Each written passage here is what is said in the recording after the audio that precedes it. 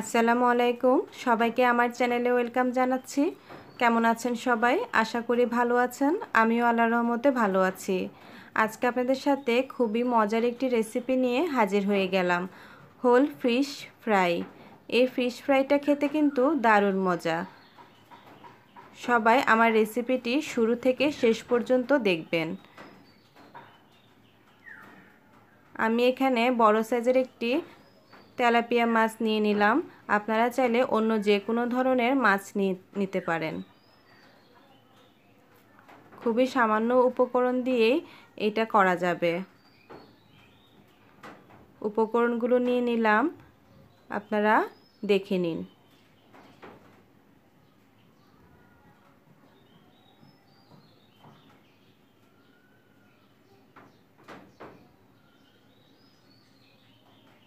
আমি প্রথমেই মশলাগুলো মেখে নিব। এখানে নিলাম এক চামচ মরিচের গুঁড়ো, এক চামচ ধনে জিরা গুঁড়ো, এক চামচ হলুদ গুঁড়ো,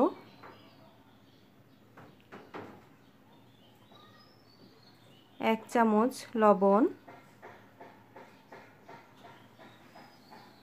এক চামচ আদা পেস্ট, এক চামচ রসুন পেস্ট,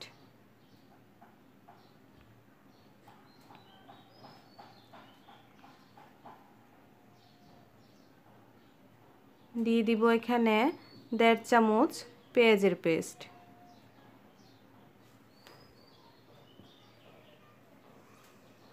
তারপরে এখানে দিব মরিচ আর ধনে পাতাকে আমি পেস্ট করে নিয়েছি। ওটা দিয়ে দিলাম দুই চামচ।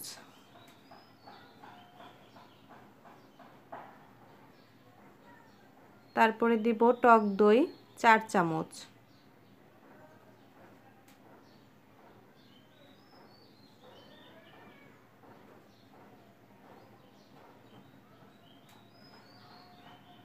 এখন দিয়ে দিব টমেটো সস তিন চামচ।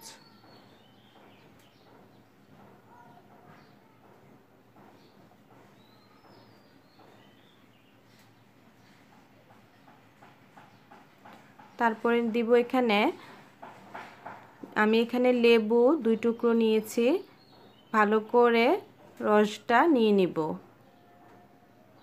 মাছের গায়েও ভালো করে রস দিব।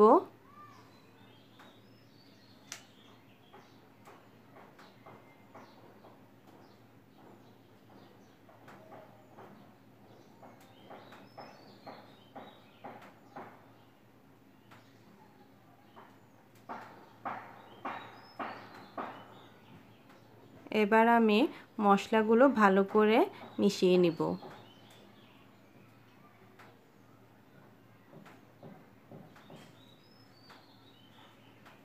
মশলাগুলো ভালো করে মিক্সড করে আমি মাছের গায়ে ভালো করে এপিট ওপিট করে লাগিয়ে দিব।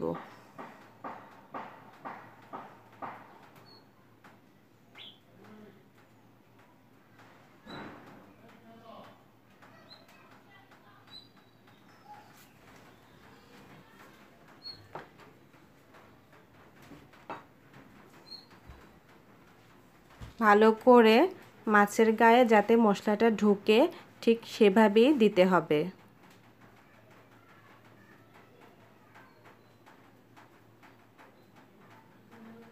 ভালোভাবে মাখানো হয়ে গিয়েছে।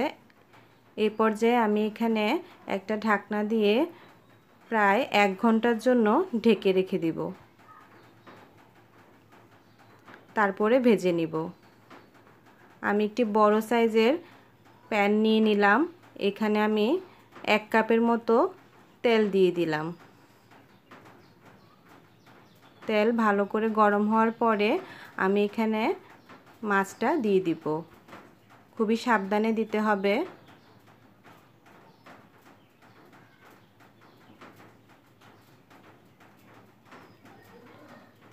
মাছের গায়ে বাড়তি মশলাগুলো দিয়ে দিব। আমি এখানে যে যে মশলা ইউজ করেছি, সবগুলোই দিতে হবে।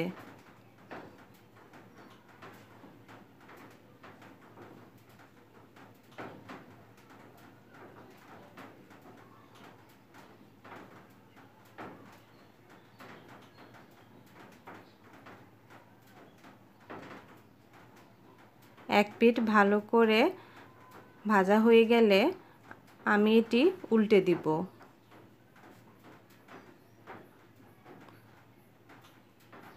আগুনটা থাকবে একবারেই মিডিয়াম। যাতে ভিতরের অংশ ভালো করে হয়ে যায়। আগুন বাড়ানো থাকলে কিন্তু ভিতরে পুড়ে যাবে।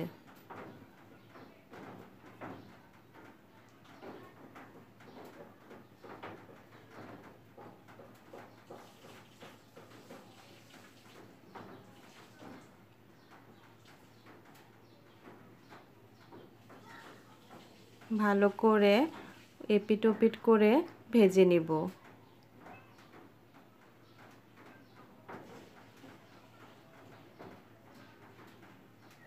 আগুন লোতে রেখে ভাজতে হবে।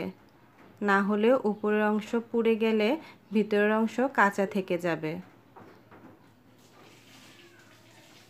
এপিট ওপিট করে ভালো করে ভেজে নিতে হবে।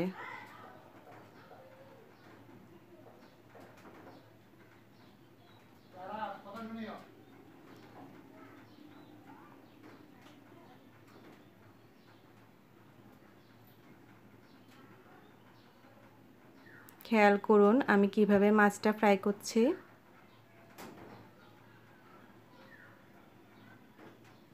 লেজের অংশটাও তেলের ভিতরে ডুবিয়ে দিলাম। এভাবে করে উল্টে পাল্টে ভালো করে ভেজে নিতে হবে।